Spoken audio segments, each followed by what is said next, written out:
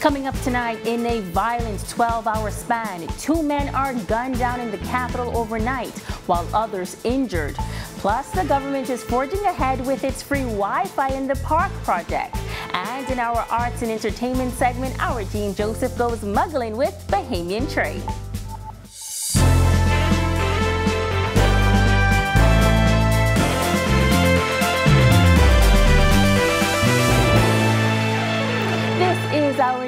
Weekend Edition. Good evening, all. Thank you so much for tuning in. I'm Megan Shepard. This weekend has had a seemingly violent start with two homicides only 12 hours apart taking place last night and this morning. But are the two connected? Our Marlena Leonard was on the scene for both and has more in this story. The murder of a man presumed to be in his 50s on Kenwood Avenue this morning makes two murders just 12 hours apart in the capital this weekend. Chief Superintendent Michael Johnson, officer in charge of the Criminal Investigation Department, providing details on the scene. Shortly after 10 a.m., the deceased was at a residence conversing with several other family members when the occupants of a small gray vehicle, which we believe is a Japanese model, pulled up. Two males exited this vehicle. Both were armed with handguns and they opened fire on the victims fatally wounding him. Chief Superintendent Johnson says the assailants then got back into their vehicle and fled the scene. When asked if police feel the two homicides may be connected, Johnson tells us that is one line of inquiry that we would be looking at, um, but it's too early at this time to say that they are connected. But that definitely would be an avenue that we would take. This comes shortly after a shooting off Soldier Road left a man critically injured and a 26 year old man dead shortly after 10 o'clock last night. Chief Superintendent Michael Johnson gave us the details on the scene last night. Through an unnamed road off Soldier Road, two males were standing in the street when they were approached by a lone gun, two gunmen who opened fire on them, shooting them multiple times about the body. One male was deceased on scene, the other male was taken to hospital by private vehicle. His condition at this time is unknown. The gunman left this area on foot and he jumped into a dark, small vehicle, which we believe is a Japanese model. As for an update on the condition of the other young man shot last night, well, he is, his condition, uh, as we know it so far this morning, is stable at this time. Um, um, but we're still seeking to speak with him as soon as we're available to do that. Chief Superintendent Johnson continues to appeal to the public for any details they feel may aid the investigation. These murders bring the country's murder count to 87 for the year. Reporting for our news, I'm Marlena Leonard. Commissioner of Police Clayton Fernander, the guest on our TV's On the Record with Jerome Sawyer this past week. The top cop says that one of his main priorities is the prevention of crime. Fernander says that since assuming his new post, a number of organizations have met with him, all with the same goals. He says he believes they would be more impactful together. I believe if we bring that under one umbrella, all of the strategies and all of the uh, programs uh, that they have to assist, if we bring all of that together and line up under the urban renewal program, I believe we will get better results. We have to look at the bigger picture, not I. You got to look at a bigger picture coming together with all of those programs so that we could put strategies in place to assist. All of the crimes that are happening right before us in our communities. Mm -hmm. And by so many young people. Young people. So we are trying to uh, target the young people within the communities to try to steer them away uh, from the, uh, the guys who will try to recruit Commissioner Fernander says that a lot of young men today see police as enemies and lack respect for those tasked with serving and protecting. He says under his leadership, a new multi-agency task force will be created to tackle crime, particularly gun violence. You're talking about the defense force, you're talking about immigration, uh, you're talking about uh, uh, the prison, uh, you're talking about customs and we have our U.S. partner who will join us with this task force. And our focus is because we know that most of the crime that are happening, the individuals are using firearms as the weapon of choice. and we don't manufacture firearms, and it continued. we are wide open, and they continue to come in, and you know the. Uh, we know that uh, right next door to us in the U.S. in Florida, uh, they are coming. They are coming through. So this task force will be focused on the smuggling of weapons that are getting into our country. Meantime, nearly $40 million in renewable energy infrastructure is on the way for two major islands. The news coming hours ago as a multi-million dollar microgrid solar system was being commissioned on Ragged Island. Berthany McDermott, who was on the island for the official ceremony, tells us how this massive investment in infrastructure will help Family Island residents. The Davis administration will invest more than $36 million in renewable infrastructure on Abaco and East Grand Bahama. The announcement by the Prime Minister came during a commissioning ceremony on Friday for a nearly $5 million microgrid solar system on Ragged Island. The focus of this investment in Abaco will include an $18 million investment for the restoration of electricity, services, and re rehabilitation of physical infrastructure damaged by Hurricane Dorian. We will also invest 4.5 million in the installation of five microgrids in the East Grand Bahama area. The Prime Minister also detailing a $14.2 million investment of a 25 megawatt battery storage system at the Blue Hills Power Station in New Providence and says plans to assess family islands for the installation of solar energy will get underway soon. We intend to go to the far-flung islands and communities, communities like like um, Salina Point, uh, in Acklins, uh, uh, Rum Cay. As for the newly minted microgrid for Ragged Island, the Prime Minister says the commissioning means more resilience in the face of future hurricanes while providing greener energy, as microgrids can help keep the lights on even when the central grid is down. BPL officials saying the 21,000 gallons of fuel used to supply the island has been reduced to 9,000. Works and Utilities Minister Alfred Sears calling it the first step in the reduction of the country's carbon footprint. Today, we celebrate the first step in a journey of national sustainability, res res resilience, and the reduction of the carbon footprint of the Bahamas. Ragged Island was ravaged by Hurricane Irma back in 2017, leaving it uninhabitable. The former administration announced plans at the time to turn the island into a green space, but that didn't happen. And now, Deputy Prime Minister Chester Cooper says the commissioning signifies the rebuilding of the island. Ragged Island, this is a signal that we open for business and we're ready to go. Reporting for Our News, I'm Berthany McDermott. The Office of the Prime Minister and the Ministry of Economic Affairs officially launched the first of several social initiatives planned. Today's initiative, Bahamas Park Connect, is geared at providing free Wi-Fi access in constituency parks throughout the country. Our news team was able to visit Kennedy Park in Bamboo Town and spoke to area MP Patricia Deveaux. She said the initiative was one of the promises made in its blueprint for change. For me, it is an everlasting being because I've had a lot of discontent in my community. We've had a lot of persons that were just financially strapped, and internet access was something that they really couldn't afford. So I'm excited about this. So it gives us a digitalization to the world. So it's a transformational change strategy, I should say, by the government that I applaud, and I just want to say thank you for, to them for making this initiative happen. I am excited because Bamboo Town is a part of this pilot project, and historically, we are one of the first to launch today. Delmaro Duncombe, Cable Bahamas' Director of Sales and Innovation, shared why it was important for the company to jump on board with the government to make this initiative possible. It is important for us to try and close that connectivity gap, uh, particularly in the areas that are less fortunate, uh, particularly within uh, New Providence and our family of islands. So when the government approached us uh, with the project, um, it was it was overwhelming because at least it feels good to do a project that has such a strong meaning and can make such a positive impact within our communities. Other parks where the free Wi-Fi was launched include the New Bight's Regatta site in Cat Island, Harbor Island Park in North Eleuthera, and in New Providence, Centerville Park, Bougainvillea Park in South Beach, Garden Hills Park, Sunshine Park in Golden Gates, among others. Still to come on our news, Social Services Minister says the marital rape discussion is back on the table. And for the third time, Hands for Hunger feeds residents of Eleuthera. That's coming up when the weekend edition returns.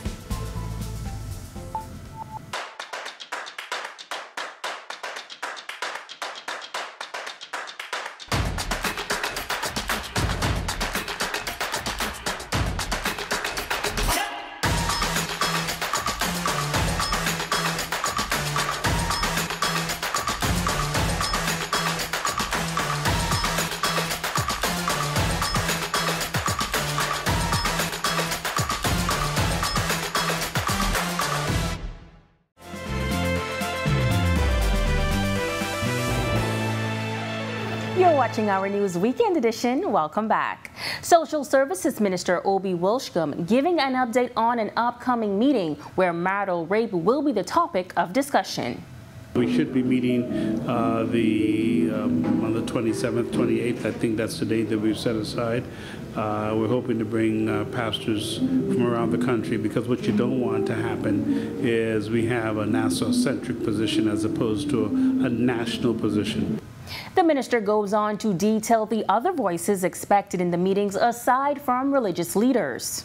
We can't constantly push the can down the road. We, we can't do that. We have to take a position, and the position must be explained. And so we'll bring the, lead, uh, the legal arm into to explain. Uh, we'll hear the church's position. Uh, we'll hear the uh, advocates uh, for and against, uh, and then, of course, we'll arrive at a consensus. Global supply chain issues will not impact the spiny lobster industry's ability to distribute their catch internationally, according to Marine Resources Minister Clay Sweeting. Sweeting says so far it seems the season, which started August 1st, is going well. It don't seem to be an issue, and um, it seems that the lobster season has started off fairly well um, continue to monitor the price and hopefully uh, the price stays up and hopefully they have another successful season like they did last year. Sweeting also telling reporters that the administration has no plan to repeal the Fisheries Act. Bahamian fishermen have long complained of foreigners marrying Bahamians to benefit from the local fishing industry. While he says it's not on the agenda at this time, Sweeting says the administration has other initiatives on the table. I think fisheries is, is one of those sectors that um, should be protected for Bahamians. I've always been vocal in that regard. Um, you know, it's, it's one of those sectors that uh, you don't put the fisheries in the water. It's not like agriculture, where you can um, take foreign direct investment and you can grow 50 acres. You only have access to what God's provided in the ocean. So it's, it's, it's one of those um, sectors that's um, provided to be a challenge over the years. Um, we have a lot of other things that we're trying to do in regards to food security that we're being very aggressive with.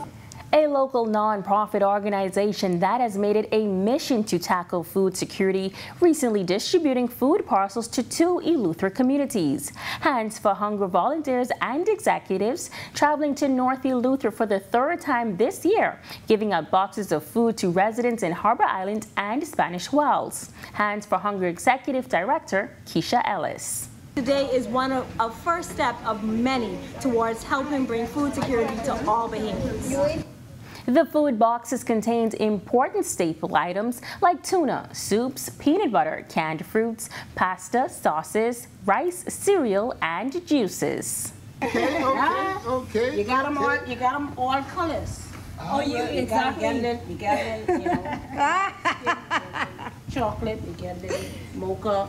Hands for Hunger partnered with the Cable Bahamas Group as well as community leaders from the Royal Bahamas Police Force, the Kiwanis Club of Harbor Island, the Spanish Wells Methodist Church, and local government officials.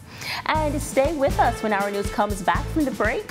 One police officer said he is pushing for harsher, more specific laws to deter drinking and driving.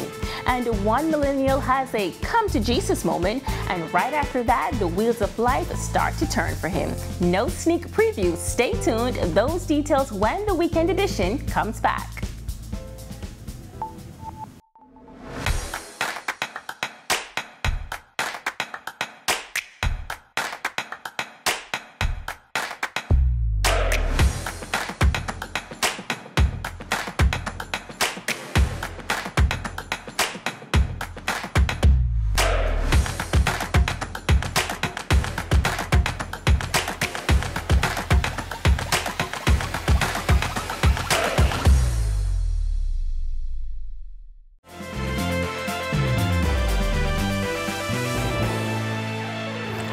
In charge of the Road Traffic Department, Chief Superintendent David Lockhart, addressing drunk driving concerns in a University of the Bahamas Responsible Drinking Forum. Lockhart says if an officer suspects that a driver is drunk, the person must give consent for a blood or urine sample, which makes the job of an investigator quite difficult. The officer says he is presently pushing for the gazetting of a specific law. In 2016, the Road Traffic uh, Act was amended uh, to give more power to the police and to make it an arrestable offense if I suspect you to be under the influence of alcohol and if you refuse to give me the intimate sample, you can be arrested. That law, from its been enacted in 20, uh, 2016, has not yet been gazetted and because it's not gazetted, it's unenforceable. Repairs to the Kendall GL Isaacs Gymnasium should be complete by next Friday. That's according to Youth, Sports and Culture Minister Mario Bowleg. Our Marlena Leonard has more in the story, including what the holdups were on the renovation's progress, as well as the events on the horizon for the gymnasium. Last week's Pastors versus Politicians basketball game brought smiles to many in the community, but it also raised questions for some keen eyed onlookers who noticed the ongoing renovations happening in the Kendall GL Isaacs National Gymnasium. First person that score is, is going to, this is going to.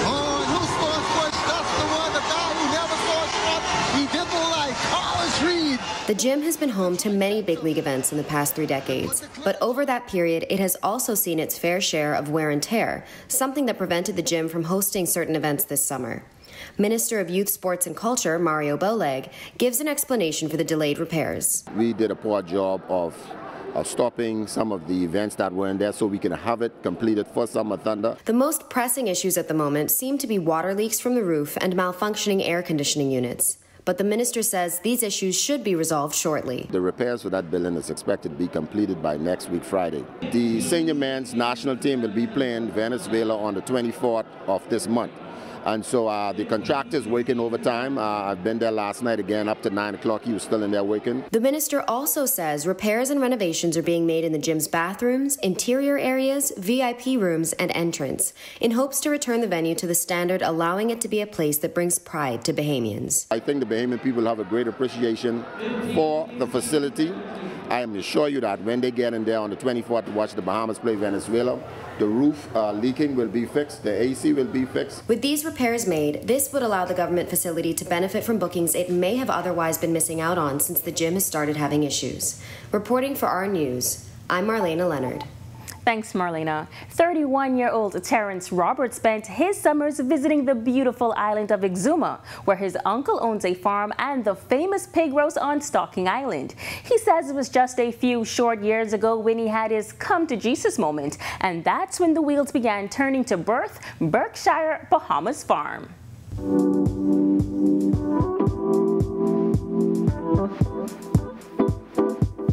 When we first got started, um, we got some pigs from Gladstone Road Agricultural Center in Nassau, GRAC, and um, they assisted us with getting started.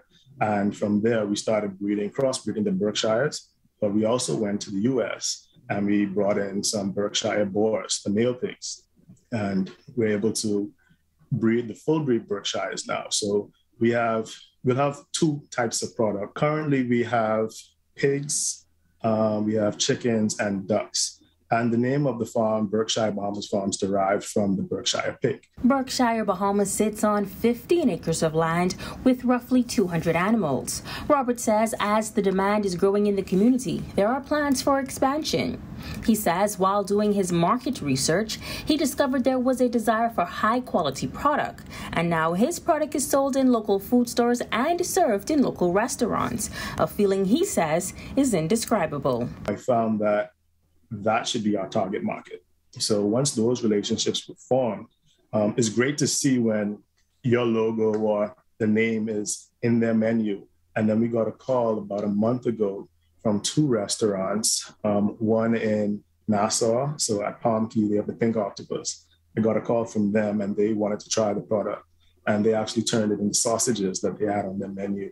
And then afterwards, we got a call from um, the Dunmore Hotel in Harbor Island So being able to sit back and take it all. And when you're just in the thick of it, a lot of times you don't think of it like, well, this is what I'm doing, this is the goal.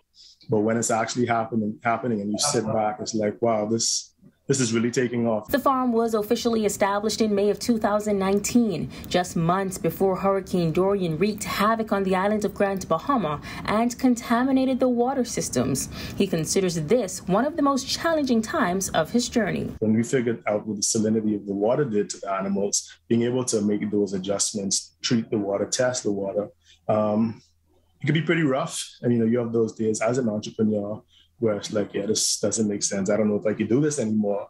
Um, but when you sit back and you think about exactly why you're doing it, and this is actually bigger than me, it's bigger than my family that put it together. It's really about our country and being able to help each other um, feed ourselves. He notes that as an entrepreneur, you are often required to wear many hats within the business. And while he looks back on his growth with pride, he shares this as his career highlight. Being able to employ Bahamians, you know, people of your own kind, and see them flourish and grow and feel comfortable in a work environment where they can go home and feel proud that they're able to take money home to their families. So I'd say that's the biggest highlight and takeaway. And you know, there's so much more to come. And here's his advice for other aspiring entrepreneurs. Find something that you're passionate about, something that you love. It's not like getting up and going to work. You know, it's going out there to solve a problem that you're passionate about. So if it's something in the community that you want to do, you can't look at it as just about you. It's who else does it affect? And coming up after the break, the weather forecast is on the way. And our Jean Joseph is muggling through with arts and entertainment. That's coming up when the weekend edition returns.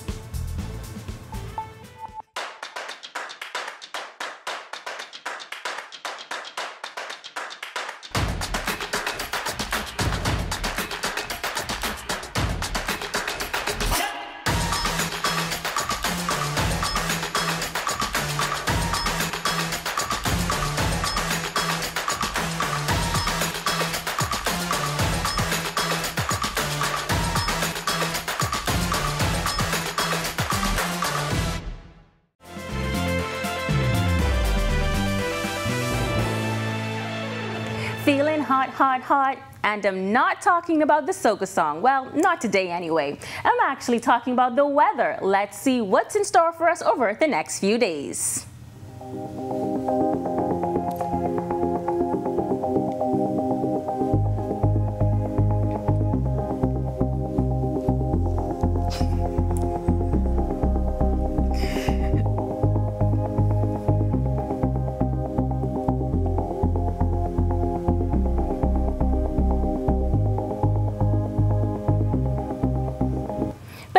Trae caught the music bug in high school and he's been muggling ever since through the good times and the bad. Our Jean Joseph sits down with the artist to hear more about his life and the creative pursuits.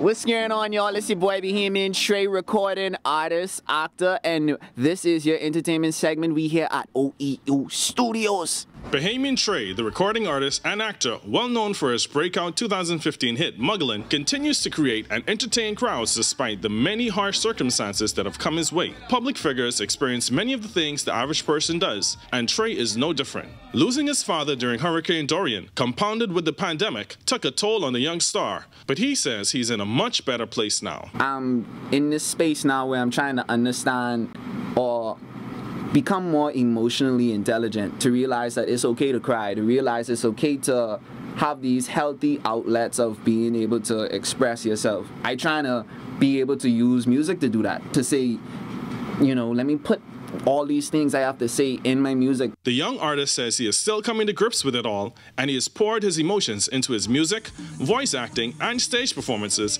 and believes that his experiences are not in vain. This is what I believe my life is supposed to be. All these things what I've been through already, like music, this this me, this supposed to be me. Trae says he hopes to translate all he has learned and experienced into more success. He says he's looking forward to bringing more of his best to you soon and says the sound will be familiar with some creative spins. Musically, where I'm at is you still for sure get that that authentic Bahamian um, dialect. You get the whole Bahamian vibe for sure when it comes to my lyrics. You will see different experiments when it comes to the sound. The artist says he has his sights set on taking his sound to the world, and he does not believe he needs to compromise his unique Bahamian flavor to attain international fame. I believe that you could be your authentic Bahamian self and promote that to the world. And once you do it right, the world will be at your fingertips. People will see that light shining from, a, from afar. With new music produced by Sammy Starr, Padrino, and others, Trae says he is excited to connect with his fans again. This new song is gonna be out this month. How they go? That's all I got to say about it right now. But follow me on TikTok too. I've been tripping myself out on TikTok here and there. Bahamian T R A E. Uh, yeah, man, you're gonna see much more like high quality content from Bahamian Trae very soon in so many different ways. Just stay tuned. In the meantime, take a listen to one of his recent releases, Back in Time. For our news, arts and entertainment, I am Gene Joseph. Enjoy. What's a muggle when they run this song? Cause it's been too long since a big tone drop. And when they come out, got the place on lock. Don't want no problem, we don't want no gunshot. Nah, we in the trees, building kites in the breeze. Delicacies of living life on the keys. Stepping on the box, so I bobbing and weave. TKO recipe seventies. Gone too soon, daddy, gone too soon. Remember that time when I get that news? Thinking to myself, why life so short? I was trying to ask God, I was so confused. Nah, this one for you, this one for blessed. Life got losses, life got lessons. Gotta represent, gotta keep repping. I'm a go boy, but just for the record. Girl, let me tell you what you need, girl. What you need is a man like. Thanks, Gene. Definitely looking forward to muggling to more Bahamian Trae music in the future. And we want you to come back tomorrow night and muggle with us on the weekend edition. But for now, that's a wrap. We thank you so much for joining us. Enjoy the rest of your weekend.